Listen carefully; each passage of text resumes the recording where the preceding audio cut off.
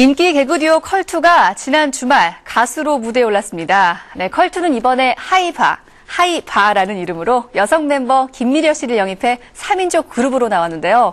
네, 지난주 SBS 생방송 인기가요에서 데뷔 무대를 가졌습니다.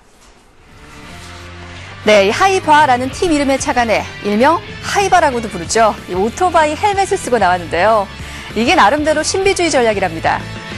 네, 큰 머리를 가리기 위한 이유도 있다는데 저 헬멧 혹시 특수 제작한 건 아닌지 모르겠습니다.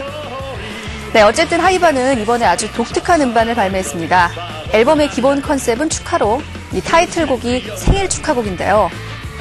이 밖에도 전에는 볼 수 없었던 독특한 축하곡들이 많이 실렸습니다. 네, 그 중에서 첫 생리 축하송이라는 곡도 있는데요. 말 그대로 처음 생리를 하게 된 걸 축하하는 노래입니다.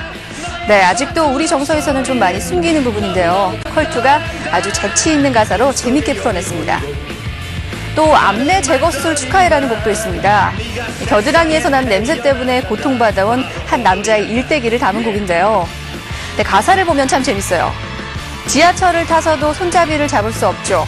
선생님은 내 질문만 빼고 다 받아줬어요. 아무리 잘못을 해도 손들기 벌은 절대 주지 않았어요. 라는 등 아주 코믹하면서도 귀여운 가사가 돋보이는 노래입니다. 네, 하이바는 이렇게 지난 주말에 성공적으로 데뷔 무대를 가졌는데요. 코믹하고 재밌으면서도 또 실생활에 우리가 애용할 수 있는 축하곡들을 선보여 앞으로 많은 사랑을 받을 것으로 보입니다. 특히 첫 생리 축하송 같은 노래는 시도도 참 좋죠. 하이바의 신나는 노래로 자연스럽게 따라 부르다 보면 왠지 모를 어색함도 좀 사라질 것 같습니다. 네, 하이바 주목하고 봐달라는 팀 이름처럼 가요계에서도 주목을 받았으면 좋겠고요. 또 여러 좋은 자리에서 이 하이바의 재미있는 축하곡들 많이 불렸으면 좋겠습니다.